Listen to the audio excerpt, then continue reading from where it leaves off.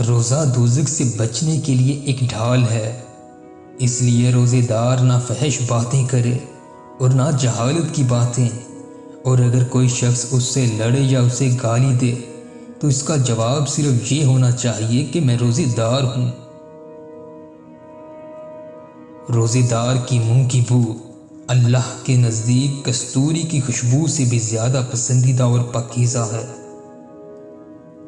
इंसान के लिए उसके बाल बच्चे इसका माल और इसके पड़ोसी फितना व आजमाइश इम्तिहान है, जिसका कफारा, नमाज़, रोज़ा और सदका बन जाता है। जन्नत का एक दरवाज़ा है, जिसे रियान कहते हैं। क़यामत के दिन इस दरवाजे से सिर्फ़ रोज़ेदार ही जन्नत में दाखिल होंगे। इनके सवा और कोई इसमें से नहीं दाखिल होगा।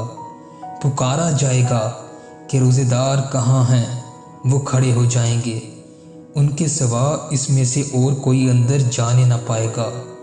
और जब ये लोग अंदर चले जाएँगे तो ये दरवाज़ा बंद कर दिया जाएगा, फिर इससे कोई अंदर ना जा सकेगा। जब रमज़ान आता है तो जन्नत के दरवाजे खोल दिए जाते हैं।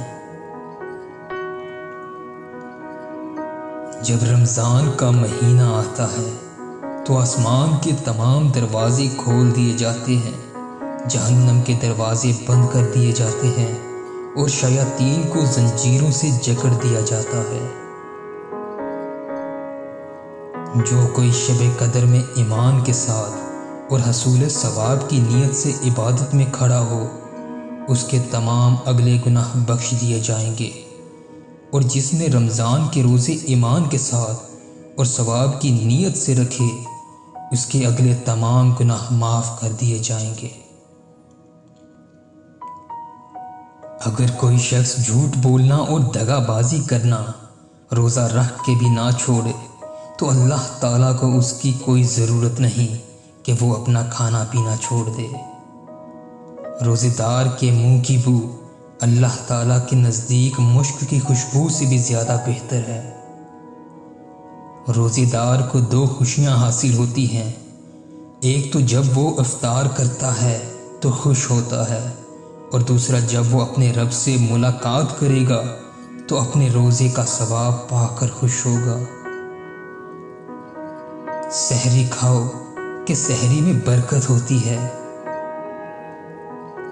जब कोई भूल गया और कुछ खा पी लिया तो उसे चाहिए कि अपना रोज़ा पूरा करे। क्योंकि इसको अल्लाह ने खिलाया और पिलाया मेरी उम्मत के लोगों में उस वक़्त तक खैर बाकी रहेगी, जब तक वो अफ्तार में जल्दी करते रहेंगे हमजा बिन उमर रज़ी अल्लाह ताला ने रसूलुल्लाह सल्लल्लाहु अलैहि वसल्लम से अर्ज़ की, मैं सफ़र में रोज़े रखूँ? आप सल्लल्लाहु अलैहि वसल्लम ने फरमाया अगर जी चाहे तो रोज़ा रख और जी चाहे तो इफ्तार कर।